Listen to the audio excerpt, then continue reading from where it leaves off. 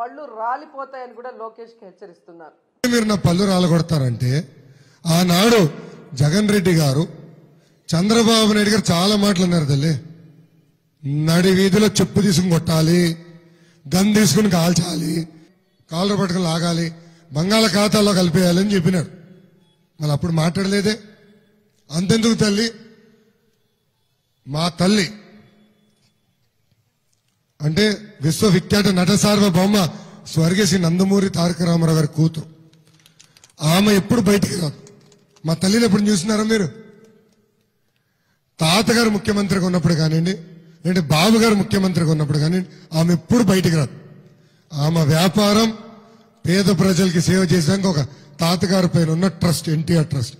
ఆమెకు ఈ రెండే తెలుసు. జీవితంలో ఇంకేం తెలియదు మా తల్లిని శాసన సభ సాక్షిగా అవమానించారు ఎంత అన్యాయమో చూడండి.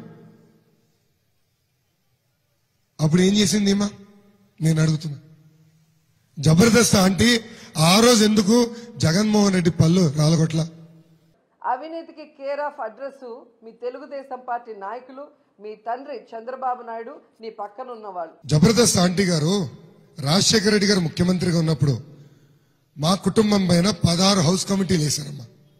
ఎనిమిది సిబిసిఐడి కేసులు వేశారు. అంటే ఇరవై నాలుగు ఎంక్వైరీలు వేశారు తల్లి. రాజశేఖర రెడ్డి గారు ఏకంగా సుప్రీంకోర్టుకి వెళ్ళారు తల్లి మా ఆస్తుల పైన. నిన్న కాక మొన్న వాళ్ళ పార్టీలోన లక్ష్మీభారతి గారు కూడా సు- సుప్రీంకోర్టుకి వెళ్ళారు తల్లి.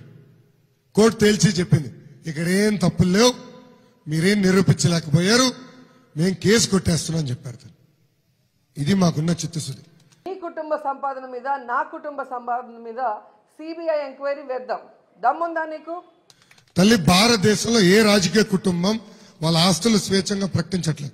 మేము ప్రకటిస్తున్నాం నేను జబర్దస్త్ ఆంటీకి ఛాలెంజ్ ఇస్తున్నా మీరు మీతో ఉన్న మిగతా నూట యాభై దొంగలు కూడా ప్రకటించండి. No problem. అందరు ప్రకటించండి. తప్పేంటి?